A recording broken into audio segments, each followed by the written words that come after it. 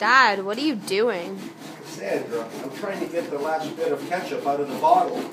There should be enough in here to finish my fries.